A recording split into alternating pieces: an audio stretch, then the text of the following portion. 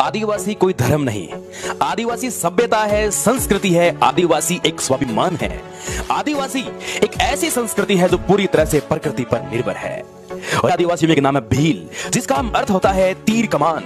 Colonel टोर्नबी ने one पुत्र कहा है, इन्हीं भीलों में सबसे मूल पुरुष इनके हुए हैं, मूल शासक हुए हैं। उनका नाम है राजा वेण भील हमारे राजस्थान में तो इन भीलों के नाम पर कई कई शहरों और कई कई जिलों की स्थापना भी हो रखी है। जैसे कि राजा भलराज, जिनके नाम पर भीलवाड़ा शहर की स्थापना हुई।